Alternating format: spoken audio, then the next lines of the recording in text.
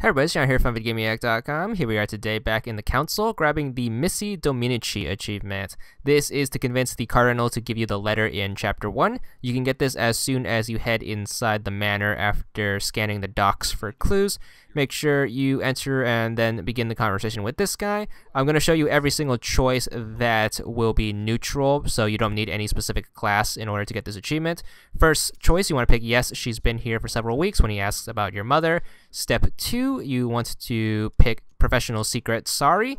And then for step 3, you want to pick you can count on me when he asks you if you can keep the secret. And then step four, which is the last step, you want to pick okay, no worries. If you pick those four, you should be able to get the achievement, and you should be able to pick those four since they are all class neutral. There's the achievement, 20 gamer score, and that's all there is to it.